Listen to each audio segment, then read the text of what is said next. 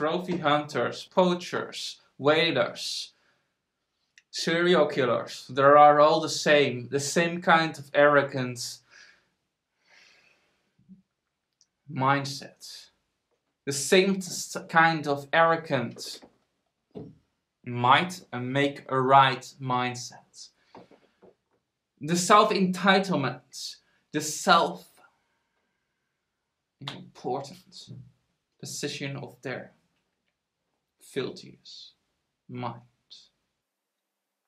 Just like with serial killers, how sometimes are known to take parts, trophies of their victims with them so they can think back on the hunting trip. Like hunters also try to do and like to do when they shoot primarily male deer because they're getting bigger and more beautiful trophy that I can put down on their wall. That's the reason they shoot majority of the time males. So they can hold their filthy business in place. Let me be honest. Japanese, Icelanders, etc. They don't kill whales for survival. They don't kill whales for science. They kill whales for spermaceti oil, one high heat resistant oil that is used and was in the time of the 20th century a lot of time used in machineries like rockets and uh, nuclear weapons because of their uh, high heat resistance qualities. Sadly and criminally, the sperm whale has still the filthy name of the whalers. When if you ask me, some creature should not to have a name that is made up by his murderer. A far better name for the sperm whale is the Leviathan, for example. There are also, the whalers also take trophies from uh, the whales in form of the oil, for example. And the teeth of this of this very important, very smart, complex organisms are very important for the ecosystem of the earth. Just like uh, poachers also take the tusks of the rhino horns and the elephants with them and sell them for high prices on the black market. Just like the filthiest bastards how kill um, seals and sell their skin as trophies and take them as trophies and sell them after that. There are no better, no different than Jeffrey Dahmer, how take sometimes the head of his victims with them and sometimes drawing them or other psychopaths like that.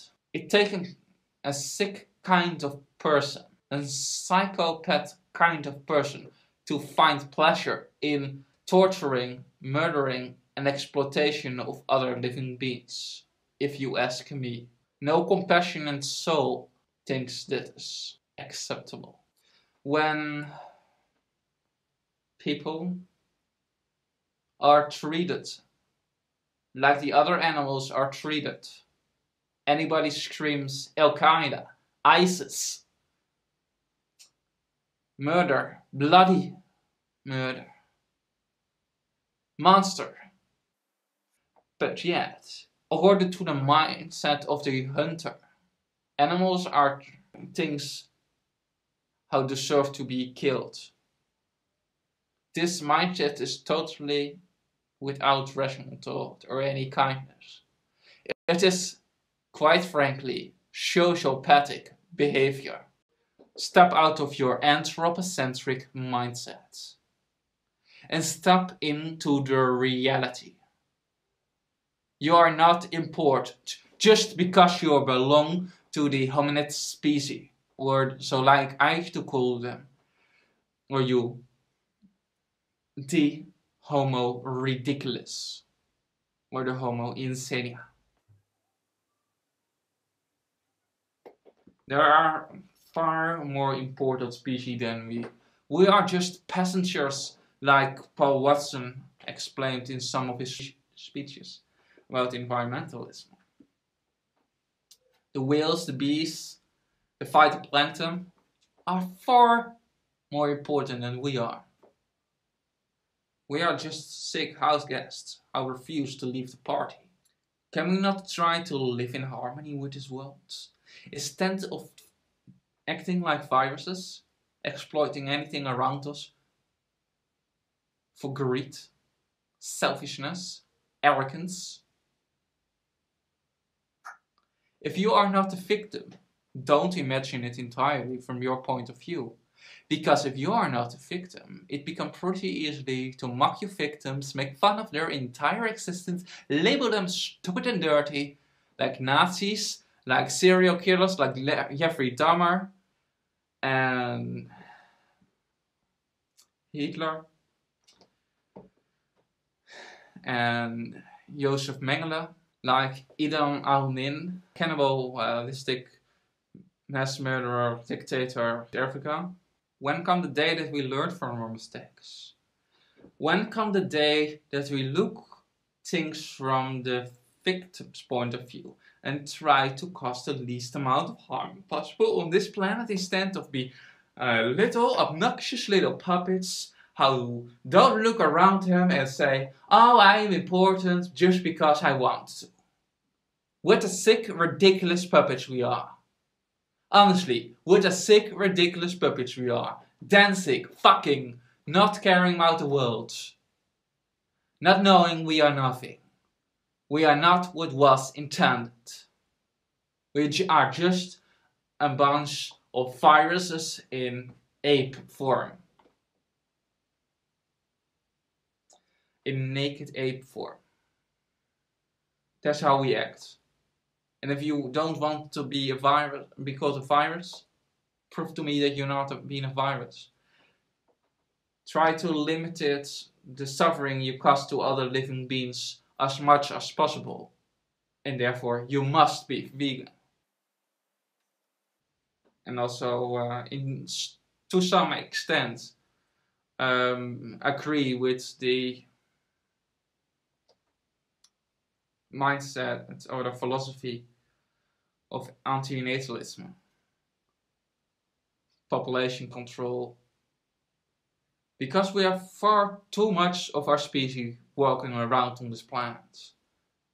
Far too much ecological and morally bankrupt, insane primates. I'm not rude, I'm not arrogant, I'm just real. I am not a politician. Politicians do not make this world a better place. It was always small groups of people who must convince the masses that the masses are totally morally bankrupt. Like, like um, with uh, Malcolm X, of Malcolm X, civil rights movement, civil jet movement. The victim is nothing to the vandal, nothing more than the next victim. The victims are interchangeable. Serial killers make easy, ruthless, psychopathic murderers. Hunters make easy, ruthless, psychopathic killers of your own species. It is the gateway to causing unnecessary harm to other living beings. Again, take sides. Neutrality helps the oppressor, not once the oppressed. Silence encourages the tormentor, not once the tormented. The apathy of the people is sometimes enough to hasten the resurrection of the dead.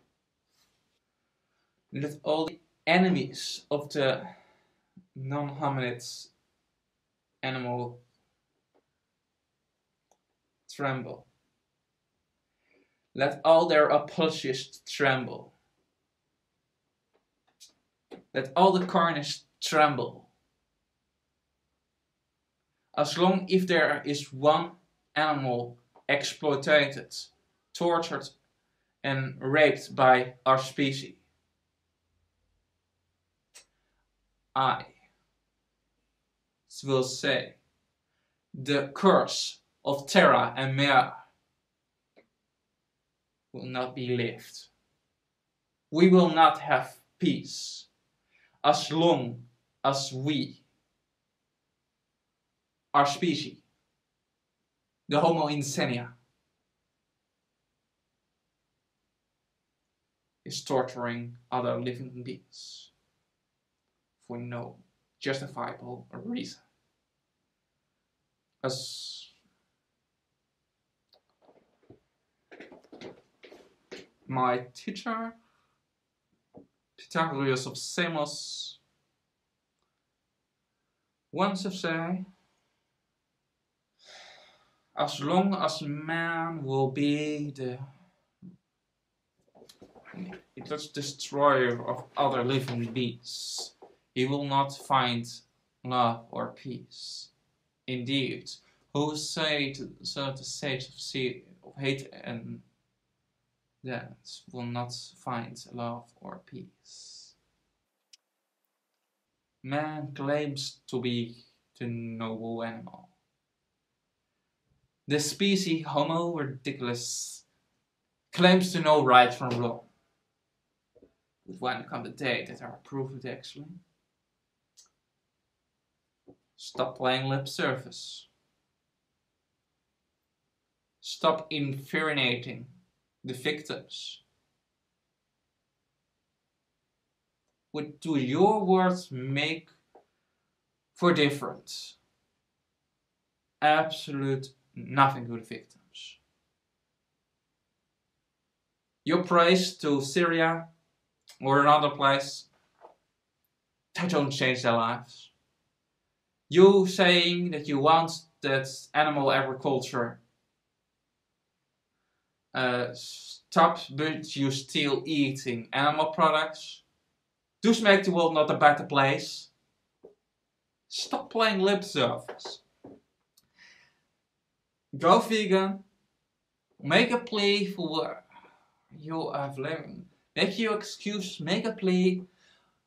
Go vegan and help to stop world hunger, help to stop uh, all the climate problems on this planet. Do something for change instead of being a person without firewall.